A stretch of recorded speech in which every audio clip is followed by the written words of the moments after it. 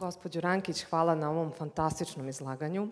Pozvaću našeg sledećeg govornika, gospodina Obrenovića, predsednika Kensija, da nam se pridruži na bini.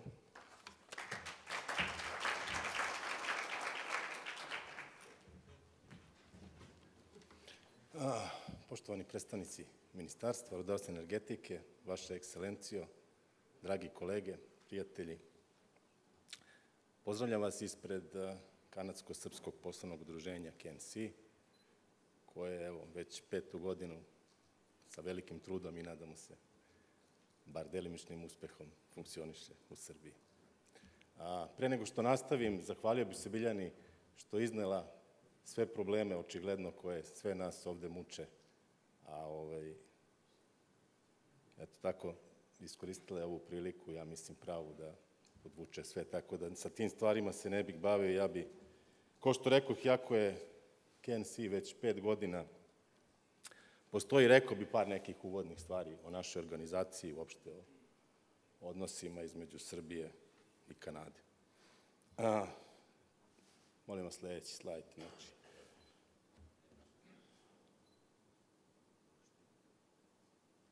Razlike, kao što vidite, fizičke prirode su velike, Kanada je mnogo veća od Srbije, a i mnogo više stanovnika, međutim ne u istoj proporciji. Znači, ono što bi na ovom mestu podvukli, da je, to je da otprilike oko 100.000 aha, da oko 100.000 ljudi sa naših ovde područja živi u Kanadi, što predstavlja jednu prilično snažnu zajednicu na koju mi kao Kansi isto računamo u našem radu i do sada smo imali i ostvarili smo prilično uspešnu saradnju sa njima. Na ovom mestu, evo, ovo je neka najnovija vest. Ti odnosi će možda biti još i poboljšani. Iduće godine kreće direktna avionska linija između Beograda i Toronta, pa se nadam da, ako ništa drugo, komunikacija će biti olakšana. Robna razmena između Srbije i Kanade i nije baš nešto čime bi mogli da se pohvalim. Znači, na prilično skromnom nivou kanadski izvoz je u 2017. povećan značajno, skoro duplo u odnosu recimo na 2012. ali zato izvoz iz Srbije je opao u odnosu na 2014. U svakom slučaju investicije ostaju glavni vid znači ekonomske saradnje između dve zemlje. Jedna od misija Kanadsko-srpskog poslovnog udruženja je i to da se pomaže ljudima koji žele da investiraju na obe strane, međutim, s obzirom na a, ekonomsku snagu Kanade, pre svega kanadskih investitora da investiraju u Srbiju. Na ovom mestu bi takođe a, podvuko postojanje a, veoma snažne poslaničke grupe u parlamentu, u parlamentu Srbije koja broji 27 članova i koja je vrlo aktivna u Znači, sa druge strane, i u kanadskom parlamentu postoji ekvivalentna poslanička grupa i saradnja između dve grupe je vrlo ovaj, aktivna i događa se na raznim nivoima, znači sada već političkog života.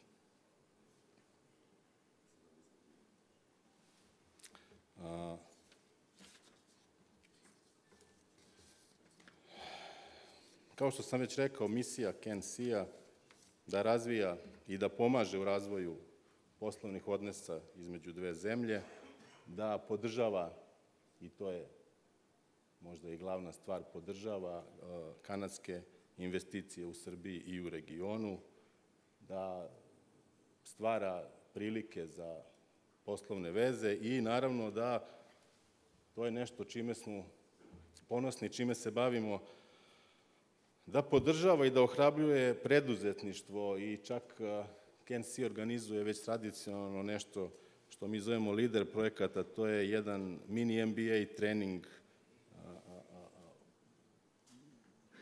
znači za mlade preduzetnike, za ljude koji imaju ideje i pomažemo im da kroz tako jednu radionicu dođu do seznanja koje će sigurno pomoći u nekom budućem životu, poslovnom pre svega. Na ovom mestu bi isto istakao sa ponosom da su naši Znači, taj lider projekat se održava u nekoliko zemalja u regionu, a ove godine su pobednici našeg lidera proglašeni za najbolje ovaj, polaznike lider projekta u, u celom regionu.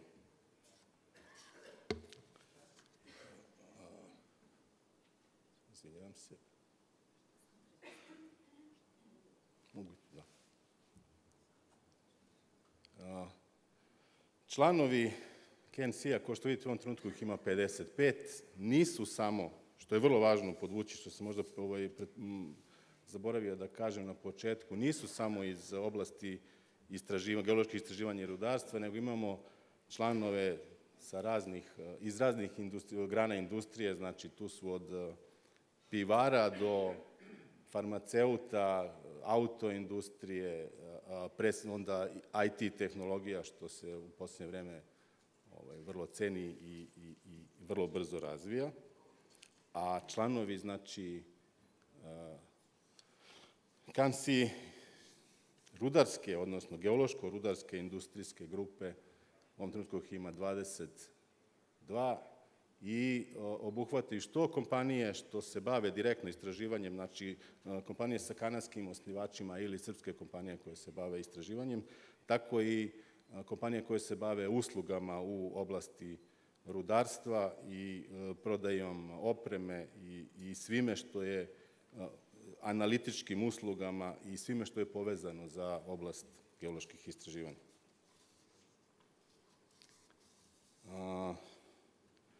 U prethodnom periodu, znači u periodu 2002. kada je prva kanadska kompanija dobila istražno pravo, u to vreme je bilo za istraživanje zlata u zapadnoj Srbiji, više, do, do 2017. više od 20 kanadskih kompanija je aktivno, bilo aktivno ili je još uvek aktivno u, na, oblasti istraživanja u Srbiji. Kanadske investicije u tom periodu su Bila je više od 250 miliona, a, a, a još nekoliko stotina miliona je uloženo u akviziciju projekata u Srbiji. Na tom mestu izdvojam pre svega projekat Čukaru Peki koji je evo i ove godine promenio vlasnika i nadam se samo ovaj, na bolje je i da će ta promena vlasnika voditi ka što bržem i ozbiljnijem pristupu i što bržem otvaranju novog rudnika.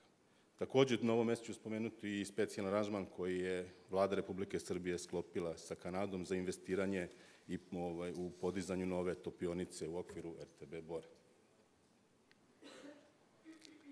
E sada, Kanada, zašto mi smatramo da Kanada treba, da, da Srbija treba da sledi kanadski pristup u oblasti istraživanja Geološka srve, znači to je otprilike državna geološka ustanova u Kanadi, je formirana 1842. godine, što je 25 godina pre nego što je Kanada postala konfederacija.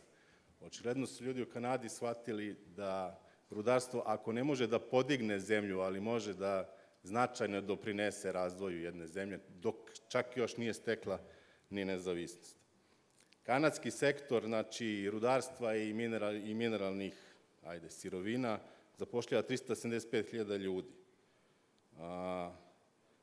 Kanada je vodeći proizvođač više od a, a, 14 minerala i metala, a proizvodi ukupno više od 60 različitih vrsta. 31% globalnih investicija dole, u oblasti istraživanja rudarstva dolazi iz, iz Kanade, a ono što je spektakularno to je da dve trećine svih javnih, znači svih kompanija koje su na berzi, su na berzi u Torontu, koje se bave istraživanjem i rudarstvom, i da tih 1500 kompanija ima otprilike 8000 projekata u 100 različitih zemalja. Tako da ja mislim da Srbija ima svašta da nauči od Kanade u oblasti razvoja ovog sektora i da ako ništa drugo bar pokuša da dostigne jednim delom, naravno neće nikako moći sve ovo da dostigne, ali jednim delom da dostigne ove brojke. Koliko je Kanada posvećena, daću vam sada jedan primer, znači,